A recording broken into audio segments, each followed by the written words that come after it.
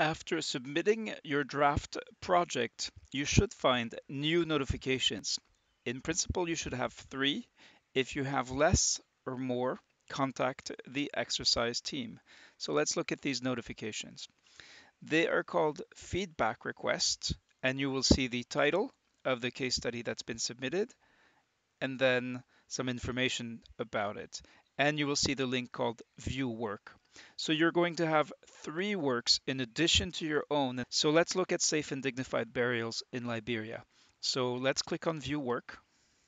And this will now load a work that is not your own. On the left hand side, you have the work itself. First part of a peer review is to dedicate an adequate amount of time to read and deeply consider and think about what the author has written in their case study. And to guide you in that process, you have under the feedback tab, you have the full rubric. So you also have this as a PDF. You also have the full detailed version with all of the guiding questions.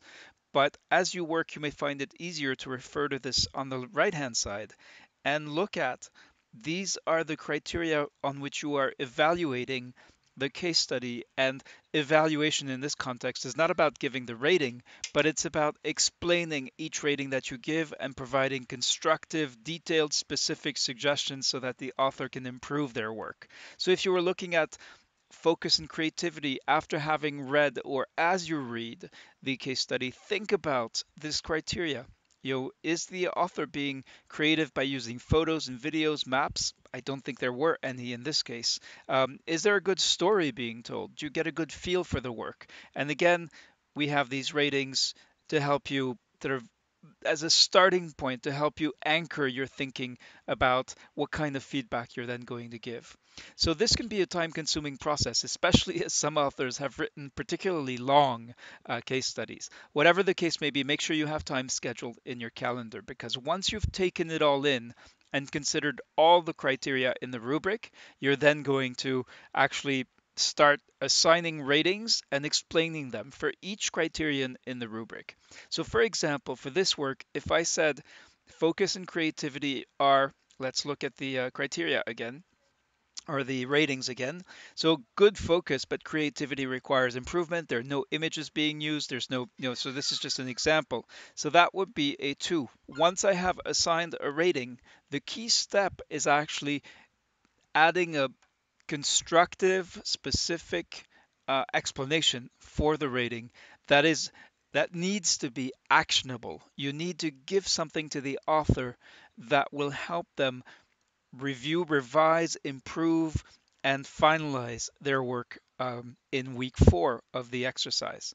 So if I just say good job or even well done or you know needs improvement, these are not useful suggestions or feedback. Think about it. If you receive this type of comment, this sort of two-word you know, um, judgment on your work, does it give you an indication of what kinds of things you can improve or what is good about what you've done?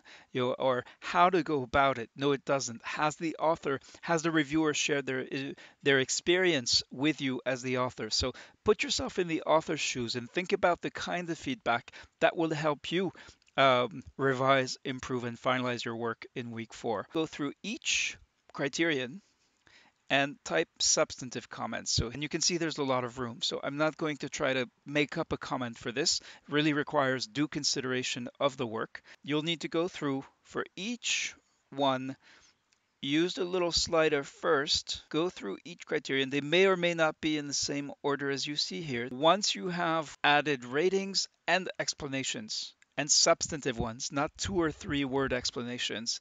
Only then will you be able to submit your work. So here, as you can see, my review is incomplete because I have not added substantive explanations.